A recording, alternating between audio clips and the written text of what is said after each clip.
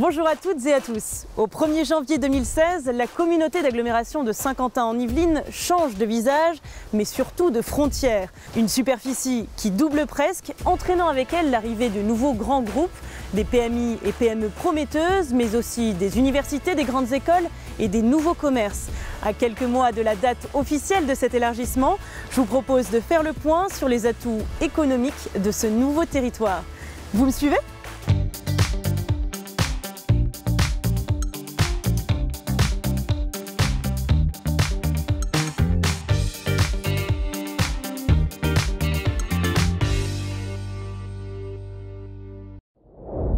Les ambitions de Saint-Quentin en Yvelines sont immenses, à l'image de son agrandissement. Dès 2016, cinq communes feront leur entrée dans l'agglomération saint-quentinoise les Clés-sous-Bois, Coignères, Villepreux, Morpas et Plaisir.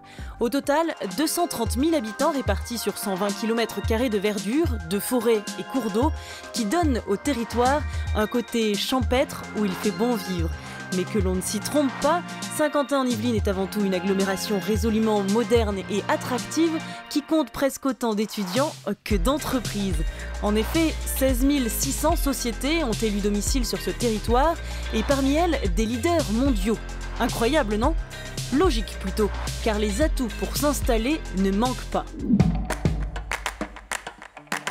Pour faire réussir une boîte, il faut des moyens, il faut des, chercheurs, il faut euh, euh, bien sûr des, les meilleurs produits, euh, il faut donc être, en rapport avec le monde entier. Vous avez quand même ici un espace d'innovation, je vous l'ai dit, classé 8e au monde, c'est la Silicon Valley française. Vous avez beaucoup d'atouts pour que tout le monde ait envie de, travailler mieux, de de chercher encore mieux, de sortir les nouveaux produits, euh, que ce soit dans le numérique, que ce soit euh, dans, la, ville du futur. On travaille sur la ville du futur ici, on travaille sur l'avion du futur, sur, les, sur la voiture du futur, sur la pédagogie du futur, sur l'université du futur. Donc beaucoup, euh, bien sûr, de recherche et de, donc sur ces axes extrêmement prometteurs pour, pour l'avenir de, de Saint-Quentin et de ce pays.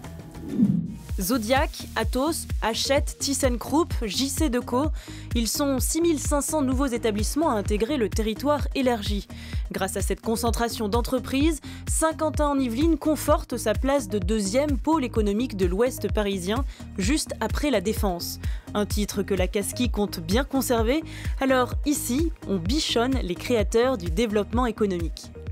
L'entreprise, c'est la solution, il faut bien la remettre au centre euh, euh, qu'elle soit mieux respectée, mieux aimée, mieux aidée, hein, qu'on lui simplifie la vie, qu'on l'aide à avoir accès plus facilement aux, compétences, euh, aux formations, à l'argent pour se développer, aux laboratoires pour la recherche. L'histoire du leader mondial du mobilier urbain JC Deco s'écrit depuis 50 ans à Plaisir, l'une des nouvelles villes entrantes. Et pour cette multinationale, forcément, il est toujours agréable de se sentir bien accueilli. C'est important pour euh, une entreprise euh, comme JC Deco de sentir que l'entreprise est au cœur du territoire. Et je crois qu'un des meilleurs exemples, c'est l'organisation euh, de cette première soirée des entrepreneurs en novembre, qui est pour nous véritablement une opportunité de rencontrer un grand nombre d'acteurs, notamment économiques, du territoire. C'est un réflexe pour nous de regarder euh, euh, autour de nous hein, avant d'aller chercher des compétences euh, plus éloignées.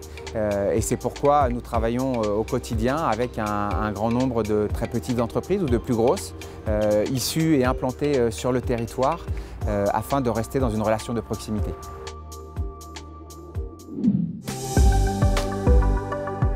Parmi les autres entreprises de renom qui intègrent le territoire avec l'élargissement, on trouve la Maison Le Nôtre et son école professionnelle.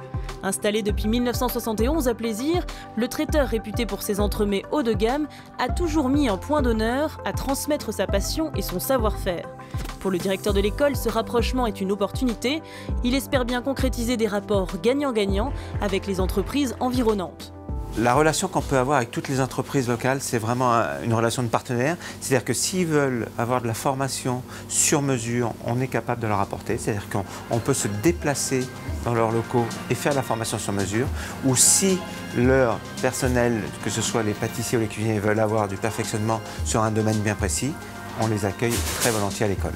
Et on peut aussi proposer aux différentes entreprises euh, éventuellement des team building, éventuellement des cours de cuisine où les personnes peuvent venir ici et c'est un cours magistral. On peut faire des cours euh, participatifs, démonstratifs. Enfin, tout est possible et c'est vraiment l'intérêt d'être proche de toutes ces entreprises. Avec ses bachelors, masters ou cours de perfectionnement dédiés aux professionnels et amateurs de la cuisine de luxe, l'école Le Nôtre attire chaque année plus de 3000 étudiants.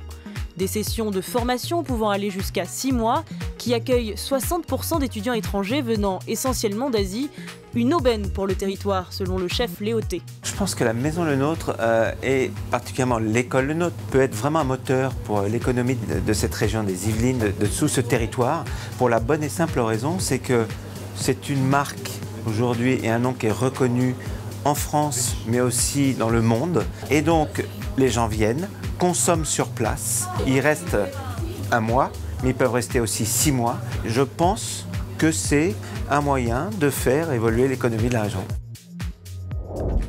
Attractivité, c'est sans doute le meilleur qualificatif que l'on pourrait donner à ce territoire. Saint-Quentin-en-Yvelines est un véritable bassin d'emploi, mais aussi d'études supérieures. 145 000 travailleurs apportent chaque jour leurs compétences aux entreprises de la région, pendant que 17 000 étudiants se forment sur les bancs de l'une des universités ou des grandes écoles de la communauté d'agglomération. Pôle d'excellence, d'innovation mais aussi de formation. Les superlatifs ne manquent pas. La jeune université Paris-Saclay regroupe à elle seule 10 grandes écoles, 7 organismes de recherche et 2 universités. Mais si les besoins des entreprises en main-d'œuvre qualifiée sont énormes, encore faut-il que les formations dispensées correspondent aux besoins des employeurs. À l'université de Saint-Quentin-en-Yvelines, on a trouvé la parade.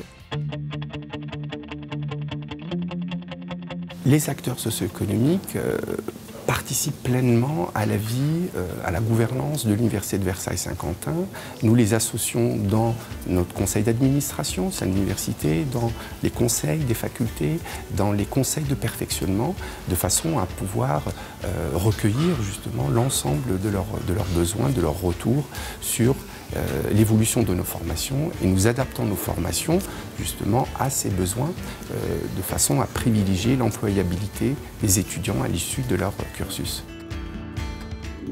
Autre contexte, autre stratégie. Depuis 35 ans, l'Estaca était implantée à Levallois-Perret. En août 2015, cette école d'ingénieurs spécialisée dans les systèmes de transport déménage pour 50 ans, territoire fortement marqué par l'industrie automobile et aéronautique.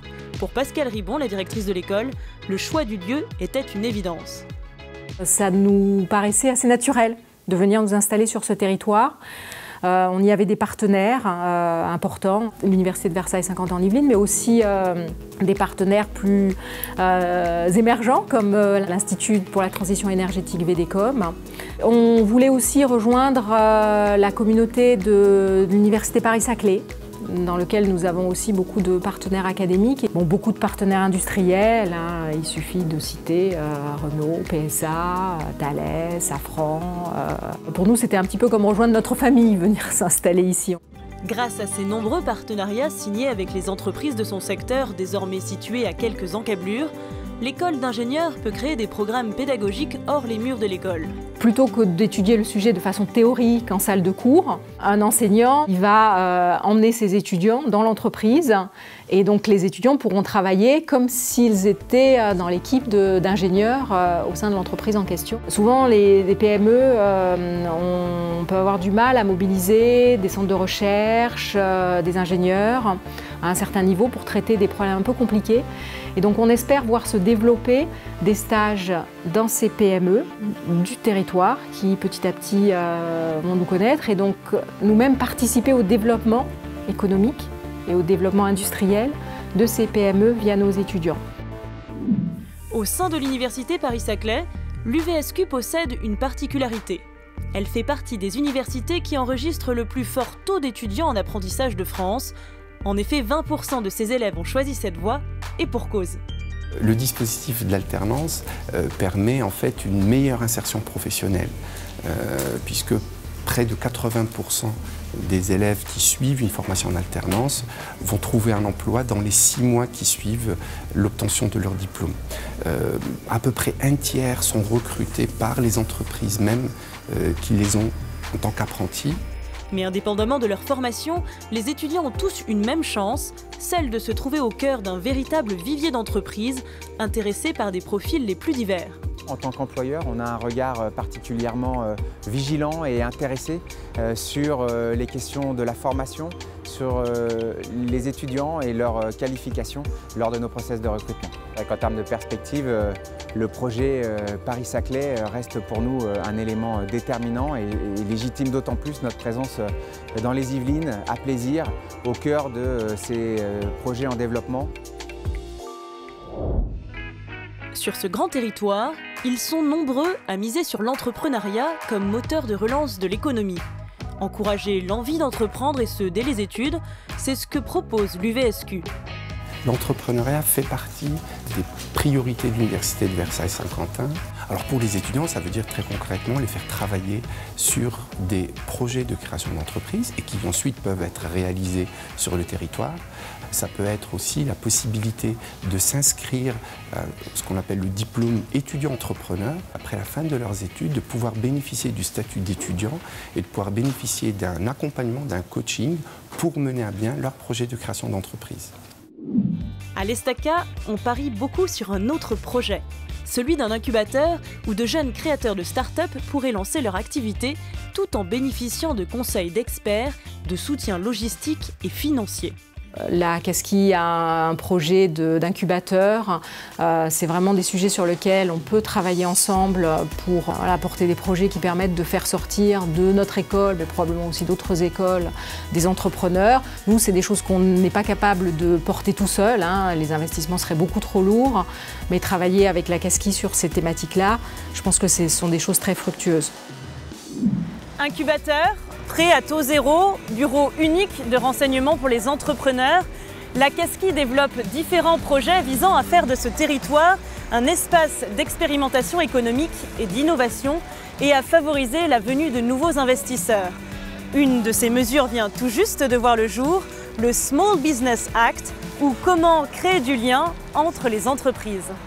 Le Small Business Act qui est en fait d'inciter les gros à plus travailler avec les petits, Également que les administrations puissent travailler avec des petits. Parce que souvent, ils ont de telles euh, contraintes, de telles normes, que les petits n'osent même plus postuler pour travailler avec euh, une grosse administration.